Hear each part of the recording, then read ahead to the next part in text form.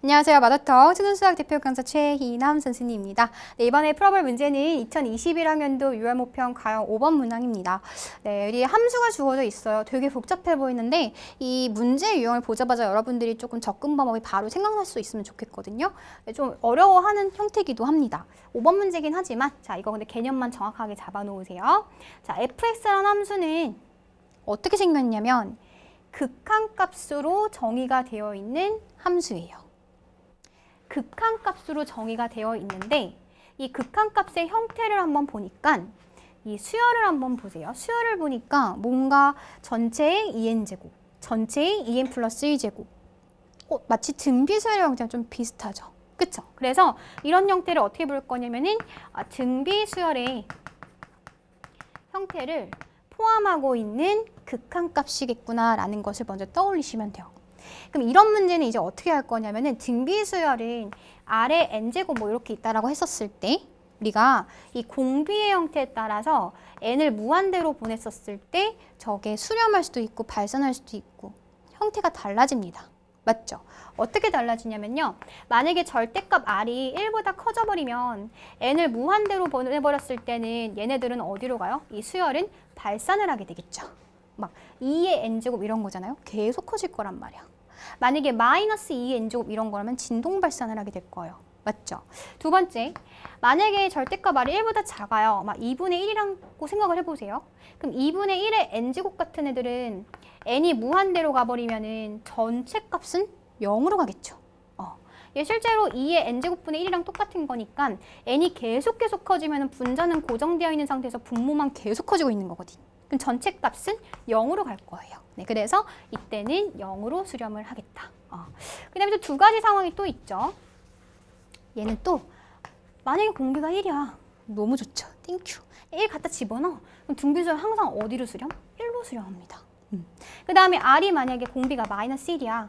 마이너스 1은요. N이 짝수, 홀수, 짝수, 홀수, 왔다리 갔다리 진동 발산하게 돼요. 그래서 이때는 발산을 하게 된다.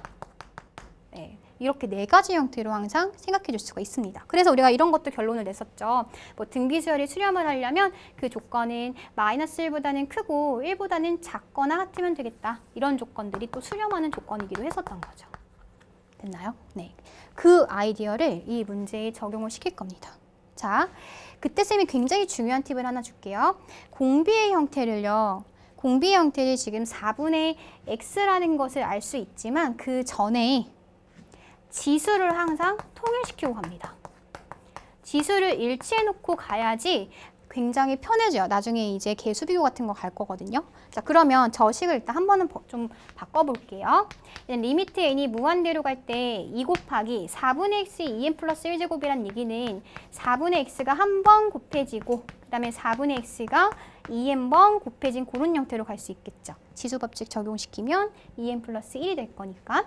그 다음에 나누기 얘도 4분의 x의 2n제곱 이렇게 갈 거고 더하기 3 만들어질 겁니다. 됐어요? 네. 근데 우리 요 상황을 네 가지, 4가지로 나눌 거예요. 알겠죠? 4가지로 나누자. 네 가지로 나눌 겁니다. 자, 공비가 누구라고요? 4분의 x예요. 자, 그러면 어, 사실은 공비 실제로는 4분의 x 제곱이긴 해요. n 밑에 있는 거니까. 맞죠? 그럼 이걸로 갈까요? 4분의 x 제곱은 얼마예요? 얘는 뭐 16분의 x 제곱 이렇게 갈 수 있는데 어찌됐건 요 공비의 역할이 어, 4분의 x를 공비라고 보더라도 똑같은 결과가 나올 겁니다. 음, 그렇게 갈게요. 그냥 4분의 x로. 그럼 절대값 4분의 x가 걔가 1보다 컸었을 때 4분의 x가 1보다 작았을 때그 다음에 4분의 x가 1이었을 때 또는 4분의 x가 마이너스 1이었을 때 이렇게 가보도록 하겠습니다. 자, 4분의 x가 절대값이 1보다 컸을 때는 n을 무한대로 보내버리면 아까 이런 애들 어디로 간다고요? 얘네 무한대로 발산하게 돼요. 얘도 무한대로 발산하게 되죠. 그러면 무한대분의 무한대꼴에서 우리가 어떻게 썼냐면은 분모에서 공비가 큰 항으로 얘네들로 다 분모 분자를 나눠주는 건데 그 결론이 뭐였었냐면 얘네들의 최고차항의 개수비가 나타납니다. 자, 우리가 수열을 구하는 상황에서는요. 변수가 x가 아니에요. 공비가 1분의 2 곱하기 4분의 x로 갈 수 있는 이유는 뭐냐면 n이랑 관련 없는 x 같은 거는 상수 취급해버리는 거기 때문에 개수 b처럼 보면 돼. 알겠죠? 그래서 1분의 2 곱하기 4분의 x 그게 얼마다? 2분의 x가 되겠다. 음. 됐죠? 그 다음에 절대값 4분의 x가 1보다 작아버리면 이런 애들 4분의 x 제곱도 1보다 작을 거고요. 그럼 애- n이 무한대로 가면 다 0으로 날아가 버렸기 때문에 앞에 있는 것도 이제 0으로 날아가겠죠? 0 곱해지는 거니까. 그래서 그때는 얼마다? 얘는 마이너스 3분의 1이 되겠다라는 거 알 수가 있습니다. 음. 그 다음 4분의 x가 만약에 1이야 그럼 땡큐지 뭐. 1 갖다 집어넣기만 하면 돼요. 1 갖다 집어넣어 주시면요. 4분의 1이 돼가지고 얘가 그때는 4분의 1이 되겠구나라는 거 알 수 있습니다. 물론 마이너스 1이어도 4분의 x가 마이너스 1이어도 지금 상황에서는 어떤 상황이 발생을 하게 되냐면 보세요. 잘 보세요. 4분의 x가 마이너스 1이야. 그럼 얘가 마이너스 1에 2n 제곱 되거든요. 마이너스 1을 짝수번 거듭 제곱하는 거야. 1이랑 똑같겠죠. 그쵸? 오케이. 1입니다. 근데 거기에 마이너스 1이 지금 여기 있거든요. 아 그럼 이때는 마이너스 2 빼기 1이 돼가지고 이때는 얼마가 돼요? 마이너스 2 빼기 1, 마이너스 3 이렇게 만들어질 거고요. 그 다음에 이때는 마이너스 1을 또 짝수만 거듭 제곱해주는 거니까 1이 될 거고 그럼 1 더하기 3이 돼서 그때는 4분의 마이너스 3 이렇게 만들어집니다. 쌤이 지금 공간이 없어서 네, 지금 옆에다 썼어요. 음. 그러니까 결국 우리의 fx라는 함수는요. 어떻게 생기는 거냐면은 한번 볼까요? 절대값 4분의 x가 1보다 크다는 소리는 절대값 x가 4보다 크다는 소리가 될 것이고 그 얘기는 그래프로 한번 그려볼게요. 4보다 크고 마이너스 4보다 작았을 때는 그쵸? 4보다 크고 마이너스 4보다 작았을 때는 그때는 어떤 함수가 되겠다? 아, 이때는 2분의 x 그래프가 될 겁니다. 네. 실제로 2분의 x 그래프는 마사 넣으면은 얼마죠? 마이너스 2가 되는 거니까 그래프가 이런 식으로 만들어지겠죠. 됐어요. 근데 우리가 필요한 구간은 어디다? 4보다 크고 마사보다 작은 구간인 거니까 여기만 필요한 거야. 요렇게. 됐어요. 네, 그 다음에 절대값 4분의 x가 1보다 작다는 얘기는 절대값 x가 4보다 작다는 얘기가 될 거고 그 얘기는 마이너스 4보다 크고 4보다 작은 구간이 되는 거겠죠. 네, 그때는 항상 얼마다? 그때는 마이너스 3분의 1로 항상 일정합니다. 여기다 그려볼까요? 그러니까 이제 마이너스 3분의 1 같은 게 있으면 여기서부터 여기까지는 계속 마이너스 3분의 1 이렇게 만들어질 거예요. 음. 그 다음 x가 4였을 때는 그때는 얼마고? 그때는 4분의 1 이렇게 이제 찍힐 거고요.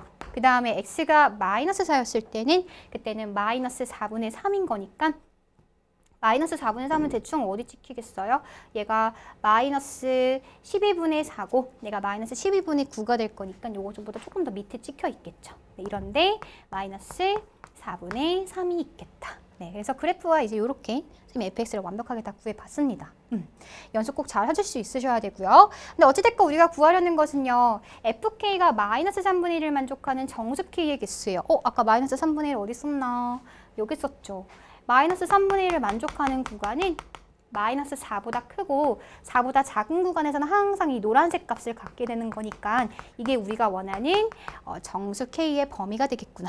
맞죠? 네, 그래서 최종적인 정답은 마이너스 4와 4 사이에 있는 정수 k인 거니까 마3, 마2, 마1, 0, 1, 2, 3이 돼서 정답은 7개가 되겠구나라는 것을 알 수가 있겠습니다.